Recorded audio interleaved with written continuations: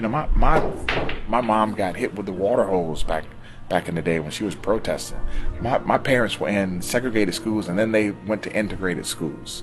Um, I was in a school in South Florida where it was almost 85, 90% white.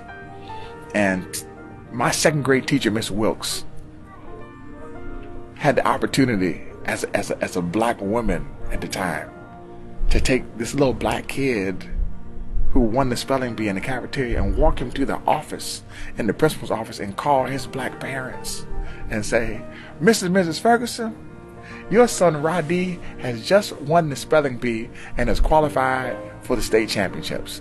It was absolutely phenomenal. It as a as a young kid, it seemed like the world to me. It let me know that if I studied, if I trained, if I did the right things, then good things can happen for me.